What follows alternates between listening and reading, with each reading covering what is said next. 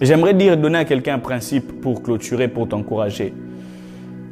Il est bien d'avoir un mentor, d'avoir un pasteur, d'avoir des encadreurs, d'avoir des bons pasteurs, des bons mentors et des bons encadreurs.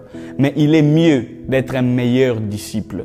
Pourquoi? Parce que ce que l'on reçoit du mentor ne dépend pas de combien bon ou mauvais les mentors, mais cela dépend de ce que les disciples ont fait et comment ils reçoivent. Je te donne un exemple.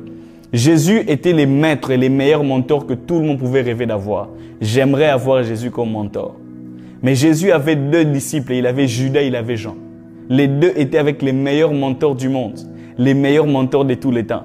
Mais l'un volait dans la caisse jusqu'à aller trahir le maître et aller se suicider. Et aujourd'hui, si on t'appelle Judas, c'est sarcastique, c'est pour dire que tu es un traître et un échec. Et l'autre Jean, avec les mêmes mentors et les mêmes enseignements, il est allé jusqu'à voir les retours de celui-ci dans la gloire. Ça veut dire l'Apocalypse.